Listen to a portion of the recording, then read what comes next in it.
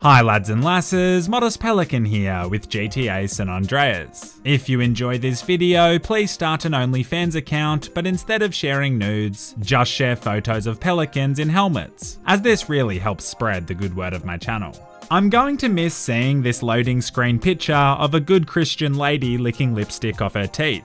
We spawn in, and I'm still dressed like OG CJ with his iconic white singlet tucked into his undies combination. He would get teased more about it, but you know, this is a guy who carries around an M4, an RPG, several Uzis, explosives, and a chainsaw, all neatly tucked into his pockets so people think twice. Today we are going to try to hunt down Big Smoke, a former member of our gang who betrayed us so that he could get rich selling drugs. We've all been there. We also need to kill Officer Tenpenny, a corrupt cop who's been blackmailing CJ and recently tried to have us killed. Attempted murder can really soil a relationship. This cop proceeds to get mad at me for I guess appreciating some low resolution booty, so I do the mature thing and savagely beat him to death. Only in San Andreas can you kill a cop and remain on a 1 star wanted level. It's like, hey police chief, should we send in support units? This guy is literally murdering our officers in broad daylight. And he's like, yeah nah mate, he's probably just having a rough day, get him a Snickers. Anyway, we need to throw on our gang colours, otherwise what's the point? A dollar sign chain to show that we don't even attempt to hide our awkward public erections. A green fedora, just kidding, I don't want people to think I have sex with a different beautiful woman every night. A three quarter length green shorts with my favourite socks and sandals as footwear. All brought together with a white t-shirt and a cap because the UV rays are harsh in California and sun safety is gangster. Let's go. The timing of this actually couldn't be better, as a few days ago we looked at the green versus purple alien war currently happening on GTA 5 servers. But this is where it all really started. The green Grove Street families versus the purple Ballas. Our gang is on the back foot at the moment, but we're doing our best to take back as many hoods as possible. A big smoke is hiding somewhere in the city, but if we can control enough of it, we'll find him. This is also a pretty special moment for my channel, as this will be the last GTA San Andreas video.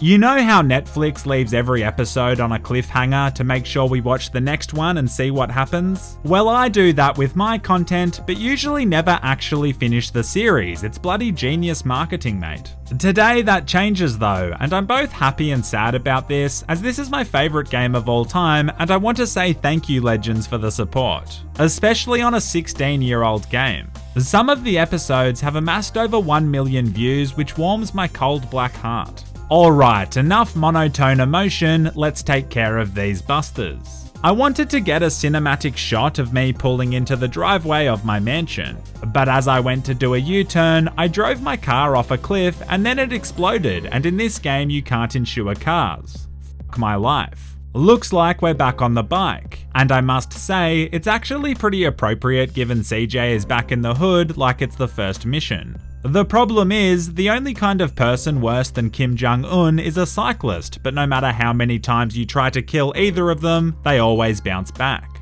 I meet up with the crew, and they're all watching Shrek Hentai, which is pretty cute, but then the news comes on and Tenpenny is having his court trial. Due to systemic corruption, he is set free serving no jail time. As a result, the entire city goes into a complete riot. Ain't nobody gonna be riding in my hood. I've said it before, and I'll say it again. This game makes me feel so white. Like seriously, I'm so white that I'm about to bring a gun to a school, a nail gun and some other tools so I can fix the bookshelves because reading expands the adolescent mind. So yeah, Los Santos is in a full blown riot, it's absolutely popping off. There are people looting TVs and fighting each other. For some reason, this hooker thinks it's a good idea to shoot a bunch of my Grove Street homies. I must say, she does way better than I would have hoped. Four of my guys couldn't take her down. We might have to pencil in some shooting lessons, I guess. Cop cars are being torched, and Sweet wants to just go back to Grove Street and secure the block. I give him a ride and hear that incredible mission complete sound play out. I wish that song played in real life every time I came. I decide I better check in with my girlfriend and see how she's coping with this whole city rioting. She's a real emotional rock for me and the love of my life. Unfortunately, I'm a slave for publicity as I want to be famous, so I do what has to be done and murder her. I mean, it worked for Carole Baskin, so why not me? She's so well known. Killing your spouse is free real estate. Alright, time to get our hands dirty. What up? We almost got the hood under control, man. Before we handle the Grove Street problem, I'm in debt and owe a favour to Caesar, the leader of the Los Aztecas, another gang. He's dating my sister and has helped me significantly, so I'll help him out. As we're about to leave, a homeless guy pulls me from the driver's seat and wants to brawl. Now, I'm not saying I have the perfect solution to the homeless problem, but I mean it is a solution. Wow, I'm kidding. I sometimes buy homeless people lunch in real life and then just chat with them, it's really wholesome. And then I stab them. Wow, sorry, I can't help myself. I meet Caesar's gang. Nice baby blue bandanas, no wonder you're struggling to control your territory. You look like you're about to drop the hottest Mathletics hip hop track of 1992.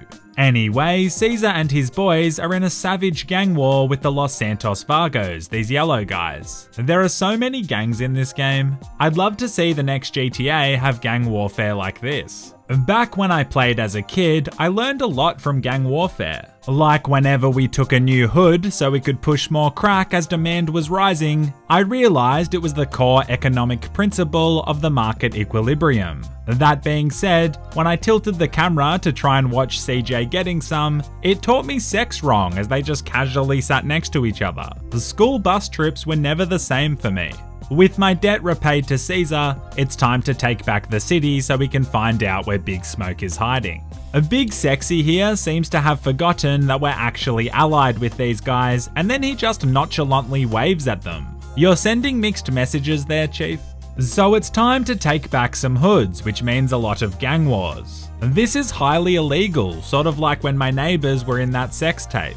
Of course, they didn't actually know they were in a sex tape, I just filmed it from a nearby tree. And look, I don't mean to toot my own horn, but it had exceptional cinematography. The process of initiating a turf war is just walking into that area and then shooting a few of the opposing gangsters. Three waves of reinforcements will come to try to stop you, but unfortunately for them, I have a military grade M4 assault rifle. The more rivals you take down, the more friendlies you can recruit, and soon you will have a small army following you around. Of course, as we established earlier, they're not the smartest in Los Santos, but they offer much needed emotional support. Imagine you're in the middle of fighting over a hood and some well-dressed malacca pulls out a sniper rifle. You'd be like, hey bro, isn't there some sort of unspoken rule that we use gangster weapons only? Like Glocks, Tech 9s and AK-47s? And hold them all thug-like on an angle? You're just a filthy hardscoper. Eventually, we manage to take back enough territory, and I get the call from Sweet that he knows where Big Smoke is hiding. Let's go. Geez, the homeless have had a really tough time today. I mean, he just got tag teamed by a hoe and a Footlocker employee. It's time to get ready, as this will be a massive fight. I stock up on ammunition. To be precise, I buy 1,365 fragmentation grenades because there's no such thing as too many explosives. I test them and they work great. I'm sure you guys can relate that it's incredibly embarrassing when you buy frag grenades in real life and they don't work. This lands me a 4 star wanted level because law enforcement doesn't understand how to enjoy a healthy work life balance. But one thing they do understand is personal space. I simply walk into the Johnson family home and they respect my privacy. It's time to take the big girl down. It's time for smoke. Alright, let's roll. Johnson brothers finna take that fat fool down. The man who betrayed Grove Street families is about to meet his end. As we're approaching his crack den, I notice there's a strip club here that I forgot about and it would be rude not to pop in. I tell Sweet I'll BRB and get ready for what could potentially be the best experience of my entire life. Wow, this is TikTok dancing in a nutshell right here. Anyway, this girl isn't my type, I'm much more into this girl. Look at that shirt all buttoned up and the black vest, so conservative it's hot. She reminds me of my ex I killed. Not the one I just killed, the one I killed about three episodes ago.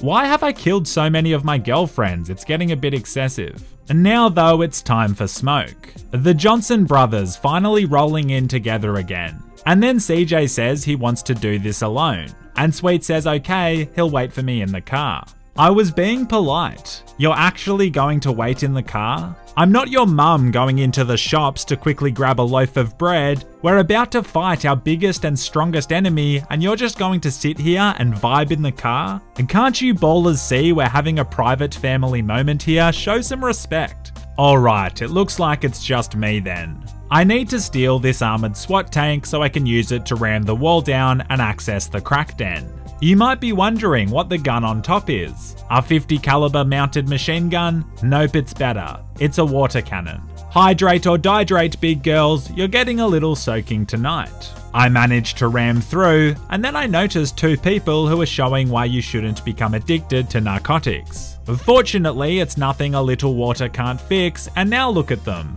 ready for church. I make my way through Smoke's crack den, and he has everybody working for him. He's got the Ballas, the Vagos, some of the police force, it's insane. I know he backstabbed us, but the man sure knows how to flex his wealth, you can't deny it. And check out this giant statue of himself. Perhaps a little narcissistic, but it's extremely lifelike, almost photorealistic. He's even got a private strip club in here, but this girl is awful at dancing too. If you want something done right, you have to do it yourself. This is how you dance sexy, and sorry to my viewers for dancing so provocatively. After fighting my way to the penthouse suite, I reach Smoke. Hey, Smoke! Hey, CJ, I was wondering when you would show up. How'd you know it was me? Ah, my dude, you literally just said, hey Smoke, and he's known you for years and could easily recognize your voice. Thank God you're a good pole dancer, or I don't think you'd be going places. Smoke pulls out a shotgun and the fight is on. This is a satisfying moment as this man betrayed us all for money. I know I'm meant to be shooting him right now, but check this huge trampoline out. Imagine the double bounces you could do on this bad boy. Damn, maybe I should betray my friends and sell more drugs. He flicks the lights off, but I have a secret weapon. 1300 grenades, which I start throwing everywhere, and this results in a lot of self-inflicted pain, and I learn a valuable life hack. Don't throw grenades in a small, poorly lit room. Eventually, I finish him off with my M4 and ask why he betrayed his lifelong friends, and he says because he wanted to get rich. I appreciate the honesty there, champion. Carl Johnson, my man. Tenpenny then arrives to kill me and take all Smoke's money. He proceeds to implausibly miss both of his combat shotgun blasts despite being 2 meters away, which is, well, it's pretty great. He attempts to flee in a fire truck as half the police force is out looking for him, and Sweet picks this exact moment to get involved.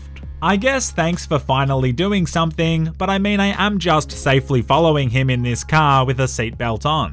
I'm not entirely sure what you dangerously hanging on like that is achieving, but great energy. Sweet leaps onto my sports car, and then after one of gaming's most iconic chase scenes, the Tenpenny accidentally steers the truck off a bridge, crashing into the sewer below, suffering fatal injuries. As far as storylines go, this is top shelf. CJ has proved to his brother he's focused on the gang again, and they defeated their two biggest threats.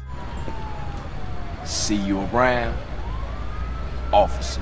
I guess the biggest lesson to be learned from this game is that if you sell enough crack, you could build a giant statue of yourself and have a private strip club. So I guess get out there and start pushing product, lads and lasses. A lot of you requested I make a GTA San Andreas playlist, so all 10 videos are now nicely organised in the playlist section. Again, I just appreciate the support on my content so much and look forward to making many more videos for you to hopefully enjoy. You guys are such legends, until next time and as always, stay classy.